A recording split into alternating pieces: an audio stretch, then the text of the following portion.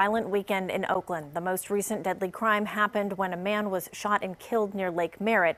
It was the city's 127th homicide this year.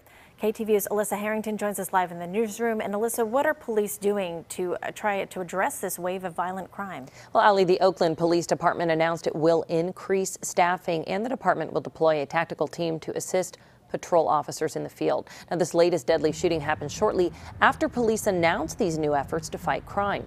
This is video from the scene. This happened on the 600 block of Grand Avenue. That's right across the street from East Shore Park at the tip of Lake Merritt.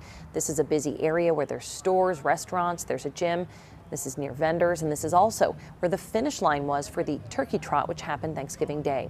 Calls first came in around 3.30 in the afternoon. Witnesses reported hearing a gunshot and saw a man next to a maroon SUV fall to the ground. Oakland police say this homicide is connected to an auto burglary. Police say a victim of an auto burglary interrupted another one in progress and was shot. Police are still looking for the shooter. Crime Stoppers and OPD are offering a $10,000 reward for information that leads to an arrest. Reporting live in the newsroom, I'm Alyssa Harrington, KTVU Fox 2 News.